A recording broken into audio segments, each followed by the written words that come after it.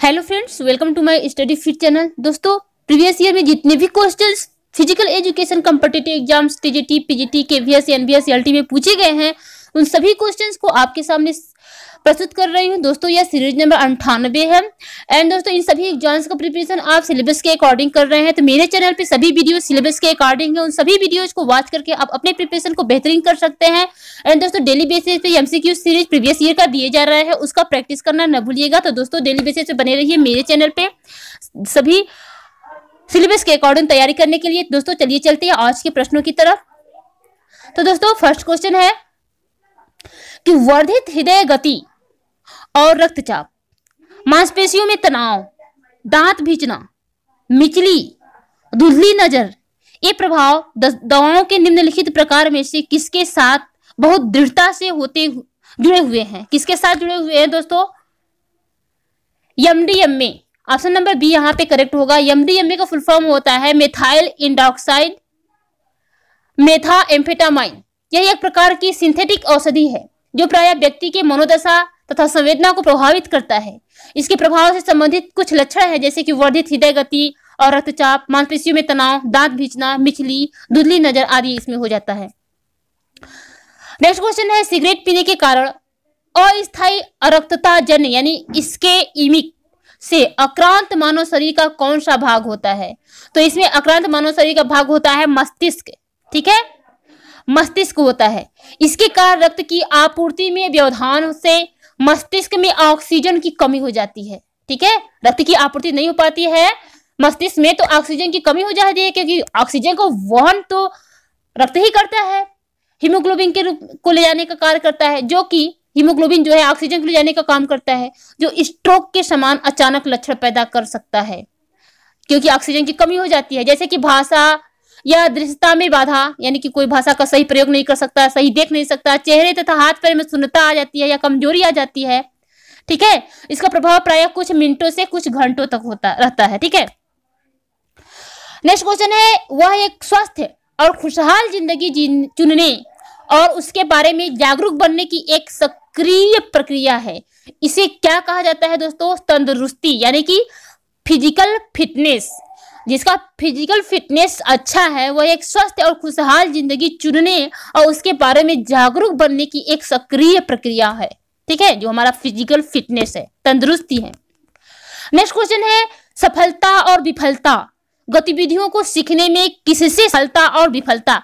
सफलता मतलब प्राप्ति, विफलता मतलब लालसा। ठीक है? तो प्राप्ति की लालसा की ताकत। ठीक है? सफलता और विफलता गतिविधियों को सीखने में किससे संबंधित है? प्राप्ति की लालसा की ताकत। ऑप्शन नंबर ए यहाँ पे करेक्ट होगा। ठीक है? प्राप्त, प्राप्ति की लालसा की ताकत। ठीक है? Strength of the use to achieve next question है कि यह प्रत्येक राष्ट्रीय मान्यता प्राप्त खेल संगठन का बाध्यकारी कर्तव्य है। यानी प्रत्येक राष्ट्रीय मान्यता प्राप्त जो भी खेल संगठन है, उन सब का बाध्यकारी क्या कर्तव्य है? उसका कर्तव्य है कि वह ओलंपिक आंदोलन के आदर्श एवं दर्शन का प्रचार करे, ठीक है? ओलंपिक आंदोलन के आदर्श एवं प्रदर्शन का प्रचार करना हर राष्ट्रीय मान्यता प्राप्त खेल संगठन का बाध्यकारी कर्तव्य है। ऑप्शन नंबर डी यहाँ पे करेक्ट है, ठीक है? नेक्स्ट क्वेश्चन है कि एक सुपरवाइजर में गुण होने चाहिए। चाहिए क्या गुण होने चाहिए दोस्तों? एक सुपरवाइजर में क्या गुण नहीं होने चाहिए? दोस्तों, इस प्रकार के क्वेश्चन में स्टूडेंट बहुत ही ज़्यादा गलती करते हैं, क्योंकि क्वेश्चन पढ़ने में अगर नहीं या हाँ में मिस्टेक हो गया तो आंसर पक्का है कि वह गलत ही देगा। ठीक है? कि नहीं पूछ रहा है कि हाँ पूछ रहा है, इसको आप ध्यान में देकर के क्वेश्चन का आंसर दीजिएगा। कि एक सुपरवाइजर में गुण नहीं होने चाहिए। यहाँ पे आप मिस्टेक से ये पढ़ लेंगे कि एक सुपरवाइजर में गुण होने चाहिए। नहीं पढ़ेंगे ही नहीं तो उत्तर क्या देंगे? ठीक है? तो इसको ध्यान में रखिएगा, जिस क्वेश्चंस में नहीं शब्द का प्रयोग होगा। क्योंकि दोस्तों यह साइकोलॉजिकल इफ़ेक्ट है। कि इंसान इसको छोड़ देता है। तो दोस्तों, एक सुपरवाइजर में गुण नहीं होने चाहिए। क्या गुण नहीं होने चाहिए दोस्तों? वह स्वार्थी नहीं होना चाहिए। स्वार्थी होगा तो कोई भी काम वो अच्छा नहीं करेगा, सबके हित में नहीं करेगा, ठीक है? पक्षपात करेगा। तो यहाँ ऑप्शन नंबर डी करेक्ट है। उसके अलावा गुण क्या होना चाहिए दोस्तों? उसमें समर्पण का गुण होना चाहिए। उद्देश्य पूरा करने का जोश होना चाहिए। अनुसरण योग्यता आदि गुण होने चाहिए, ठीक है? सभी के साथ समन्वय रखना एक अच्छे सुपरवाइजर का प्रमुख गुण है। नेक्स्ट है, खेल की शीर्ष फार्म किस पर निर्भर करती है? तो दोस्तों, खेल की शीर्ष फॉर्म किस पर निर्भर करती है? प्रशिक्षण में। जैसे कि फ़िज़िकल एजुकेशन में खेल की जो शीर्ष फॉर्म है, वो प्रशिक्षण में निर्भर करती है। यानी जितनी अच्छी आपकी तैयारी होगी, आप प्रशिक्षण किए रहेंगे, आप प्रतियोगिता में परफॉर्मेंस उतना ही अच्छा करेंगे। यदि मान लीजिए दोस्तों, यदि आपको एग्ज़ाम निकालना है, उसके पहले यदि आप फ़िज़िकल किसी खेल की तैयारी कर रहे हैं तो उसको प्रशिक्षण कर रहे हैं। प्रशिक्षित उसको अपने में कर रहे हैं, तैयारी कर रहे हैं। यदि आपको एग्ज़ाम निकालना है तो उसके पहले आप प्रशिक्षण ले रहे हैं, यानी कि विभिन्न किताबों को पढ़ रहे हैं, प्रैक्टिस सेट लगा रहे हैं, यानी तैयारी कर रहे हैं तो वही तैयारी आपका, आपकी प्रदर्शन कितना रहेगा, वो बताएगा कि आपकी तैयारी कितनी थी, ठीक है? नेक्स्ट क्वेश्चन है कि एक वर्णात्मक अध्ययन जैसे जनसंख्या सर्वेक्षण, वर्णन और व्याख्या करता है, ठीक है? एक वर्णात्मक अध्ययन जैसे जनसंख्या सर्वेक्षण वर्णन और व्याख्या करता है। क्या व्याख्या करता है कि यह क्या है का? क्या करता है? यह क्या है का? ऑप्शन नंबर ए यहाँ पे करेक्ट होगा। क्योंकि वर्णनात्मक अनुसंधान को सर्वे यानी नॉर्मेटिव सर्वे स्टेटस आदि नामों से भी जाना जाता है। और वर्णनात्मक अध्ययन, जैसे कि जनसंख्या सर्वेक्षण वर्णन और व्याख्या, यह क्या है? प्रश्न के उत्तर को प्रदर्शित करता है। ठीक है? नेक्स्ट क्वेश्चन है कि यद्यपि स्पोर्ट्स पर्सनशिप को सही सही परिभाषित करना कठिन है। तथापि, यह निम्नलिखित सामान्य क्षेत्र में आता है तो किसमें आता है? नैतिकता में ऑप्शन नंबर बी यहाँ पे करेक्ट होगा। यद्यपि स्पोर्ट्स पर्सनशिप को सही सही परिभाषित करना दोस्तों कठिन है, फिर भी यह खिलाड़ी के नैतिकता के सामान्य क्षेत्र में आता है। व्यवहारिक रूप से प्रशिक्षित खिलाड़ी और अप्रशिक्षित खिलाड़ी में केवल यही अंतर है कि प्रशिक्षित खिलाड़ी बुद्धि एवं विवेक से प्रेरित होकर के कार्य करता है, जबकि अप्रशिक्षित खिलाड़ी मात्र इच्छाओं से प्रेरित होकर के कार्य करता है। ठीक है? नेक्स्ट क्वेश्चन है कि भार दर होती है। तो दोस्तों, भार दर किस क्या होती है? तो यह भार घनत्व के विपरीत अनुपाती होती है। भार दर यानी कि लोड इंटेंसिटी जो लोड इंटेंसिटी होगा वह किसके विपरीत अनुपाति होगा? भार घनत्व के, यानी भार लोड वॉल्यूम के। जैसे कि दोस्तों इंटेंसिटी एंड वॉल्यूम यानी तीव्रता और जो समय है, उसमें विपरीत संबंध होता है। अगर कार्य का समय जितना ज़्यादा होगा इंटेंसिटी यानी तीव्रता उतना कम होगा। ठीक है? अब उतनी धीरे धीरे कार्य करेंगे। अगर कार्य का समय जितना कम होगा आपकी इंटेंसिटी यानी तीव्रता उतना ज़्यादा होगी। तो इसलिए भार दर यानी लोड इंटेंसिटी जो होती है, वो भार घनत्व यानी लोड वॉल्यूम के वित्त क्रमानुपाती होती है। वॉल्यूम का मतलब कि किसी कार्य को कितना समय तक किया गया। इंटेंसिटी यानी तीव्रता का मतलब कि कितनी स्पीड से किया गया, ठीक है? नेक्स्ट क्वेश्चन है कि आपको सही मिलान करना है इसमें। जैसे कि दोस्तों, पहला दिया है भाला ए है भाला फेंक तो भाला फेंक का इसमें सही होगा अनुक्रमिक भाग विधि। यानी भाला फेंक का अनुक्रमिक भाग विधि, यानी ए का टू हो जाएगा ए का टू हो जाएगा, ठीक है? बी है in step kick in step kick जो होता है दोस्तों, यह पूरे भाग, पूरी विधि, ठीक है? पूरे भाग, पूरी विधि, यानी होल पार्ट होल मेथड विधि में आता है। तो यह इन स्टेप किक का हो जाएगा फोर ठीक है? एंड नेक्स्ट है मार्चिंग तो मार्चिंग आप किसी मार्चिंग को प्रदर्शन विधि से ही आप सिखा सकते हैं, ठीक है? प्रदर्शन करके आप दिखाएँगे, उसके अनुसार अगला करेगा, ठीक है? तो मार्चिंग क्या हो जाएगा? प्रदर्शन विधि, आप सी का वन हो जाएगा, ठीक है? एंड कक्षा शिक्षण, जैसे कि दोस्तों आप कक्षा में जब पढ़ते हैं, उसमें किस विधि से पढ़ते हैं? मौखिक विधि से, ठीक है? लेक्चर विधि से, मौखिक विधि से तो कक्षा शिक्षण का हो जाएगा थ्री यहाँ पे ऑप्शन नंबर डी करेक्ट हो जाएगा, ठीक है? नेक्स्ट क्वेश्चन है कि जो खाना हम खाते हैं वह किस प्रकार की ऊर्जा प्रदान करती है?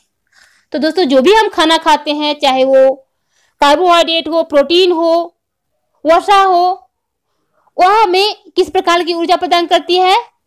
वह कैलोरी के रूप में, उष्मा इकाई कैलोरी के रूप में हमको ऊर्जा प्रदान करती है। उसको किस चीज़ से मापते हैं? हम जो भी खाते हैं, उस ऊर्जा को किस चीज़ में मापते हैं?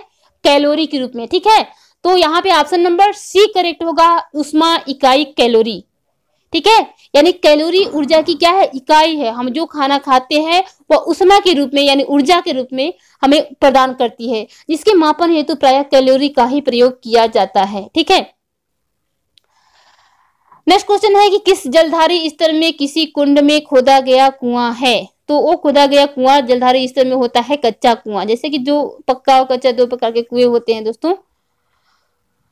तो नेक्स्ट क्वेश्चन है कि जब डीजल, कोयला, तेल और लकड़ी जैसे ईंधनों को जलाया जाता है तो उसे एक घातक रंगहीन, गंधहीन गैस पैदा होती है, जिसे क्या कहा जाता है?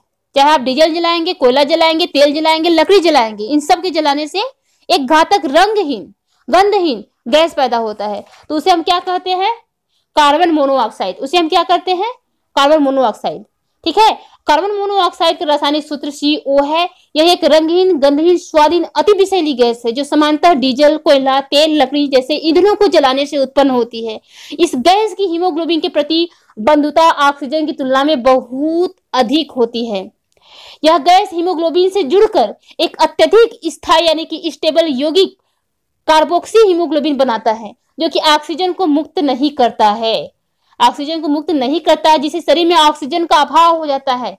कार्बन मोनोऑक्साइड से और अधिक देर तक यह स्थिति बने रहने पर व्यक्ति की मृत्यु तक हो जाती है, ठीक है? नेक्स्ट क्वेश्चन है कि राजकुमारी अमृत कौर कोचिंग योजना कहाँ आरंभ हुई थी? तो राजकुमारी कोचिंग स्कीम कहाँ आरंभ हुई थी? पटियाला में उन्नीस सौ तिरपन में, ठीक है? पटियाला में उन्नीस सौ तिरपन में। ऑप्शन नंबर ए यहाँ पे करेक्ट होगा। नेक्स्ट क्वेश्चन है कि राष्ट्रीय अनुशासन योजना कब आरंभ हुई? यानी कि नेशनल डिसिप्लिन स्कीम। तो राष्ट्रीय अनुशासन योजना का आरंभ उन्नीस सौ चौवन में हुई और किसके द्वारा हुई? जनरल भोसले द्वारा। और उस समय केंद्र में पुनर्वा, पुनर्वास उपमंत्री थे जनरल भोसले। इन्हें राष्ट्रीय अनुशासन योजना का पिता यानी father of national discipline scheme माना जाता है। नेक्स्ट क्वेश्चन है कि ग्रीस का मुख्य उद्देश्य क्या था? ग्रीस यानी यूनान में मुख्य उद्देश्य क्या था खेलों का दोस्तों? तो इसमें मुख्य उद्देश्य था अच्छे योद्धा तैयार करना। जैसे कि यूनानी खेल प्रिय थे तथा दूसरे देशों से युद्ध करते रहते थे, जिसके लिए उन्हें तंदुरुस्ती की बहुत ज़रूरत थी। और इसी के साथ ही खेल उनके जीवन का महत्वपूर्ण हिस्सा बन गया था। दो राज्य स्पार्टा एंड एथेंस का नाम खेलों से जुड़ा हुआ है। स्पार्टा में खेलों का मुख्य उद्देश्य ऐसे ताकतवर इंसान पैदा होना, बनाना था, जो देश की रक्षा कर सके और छह साल होने, छह साल का होने पर बच्चों को कड़ा शारीरिक प्रशिक्षण दिया जाता था। ठीक है? एंड दोस्तों नेक्स्ट क्वेश्चन है कि प्राचीन ग्रीस में अपोलो था। अपोलो यानी सूर्य देवता को वहाँ पे अपेल, अपोलो कहा जाता था ग्रीस में। तो वह कैसा था? कि, किस प्रकार के देवता मानते थे लोग? वहाँ के घाव भरने वाला देवता, घाव भरने का देवता। ठीक है? ऑप्शन नंबर बी यहाँ पे करेक्ट होगा। ठीक है? नेक्स्ट क्वेश्चन है कि खेल की यह परिभाषा किसने दी है? कि खेल एक स्वैच्छिक तथा स्वयं के द्वारा की जाने वाली गतिविधि है। तो खेल एक स्वैच्छिक तथा स्वयं के द्वारा की जाने वाली गतिविधि है। इस परिभाषा को दिया है स्टर्न ने। ठीक है? स्टर्न ने क्या कहा है कि खेल एक स्वैच्छिक और स्वयं के द्वारा की जाने वाली गतिविधि है, जबकि मैगडावल के अनुसार प्राणियों के संरक्षण, वृद्धि एवं विकास के लिए खेलकूद खेलकूद बहुत महत्वपूर्ण है। राज कहते हैं, रोज कहते हैं कि खेल एक प्रसन्नतादायक, स्वप्रेरक, क्रियाशील गतिविधि है, जिसमें व्यक्ति विशेष को अभिव्यक्ति का पूर्ण अवसर प्रदान होता है। ठीक है? नेक्स्ट क्वेश्चन है कि खेल को माना जाता है। खेल को क्या माना जाता है? उस उद्देश्य रहित क्रिया माना जाता है। क्या माना जाता है? उद्देश्य रहित क्रिया माना जाता है। ठीक है? नेक्स्ट क्वेश्चन है कि कौन सा कारक शारीरिक स्वास्थ्यता पर प्रभाव नहीं डालता? शारीरिक स्वास्थ्य यानी फ़िज़िकल फिटनेस पे कौन सा कारक प्रभाव नहीं डालता है? गहरी नींद और आराम ये बिल्कुल डालता है। एंड प्रतिदिन व्यायाम ये भी डालता है, संतुलित भोजन ये भी डालता है, लिखाई और पढ़ाई ये आपका नहीं डालता है, ठीक है? तो दोस्तों, आज के लिए बस इतना ही। आई होप कि सभी क्वेश्चंस आपको समझ में आए होंगे। सभी क्वेश्चंस वेरी इंपॉर्टेंट है आपके लिए। दोस्तों, बने रहिए मेरे चैनल पे सभी टॉपिक के विधिवत सिलेबस के अकॉर्डिंग तैयारी करने के लिए। एंड दोस्तों, ये वीडियो आपका कैसा लगा मुझे कमेंट में ज़रूर बताइए। फ़र्स्ट बार विज़िट कर रहे हैं तो चैनल को सब्सक्राइब कर लीजिए बेल आइकन को प्रेस कर लीजिए, जिससे न्यू वीडियो का अपडेट आपके पास पहुँचता रहे। तो मिलते हैं नेक्स्ट वीडियो में नेक्स्ट टॉपिक के साथ। तब तक के लिए जय हिंद।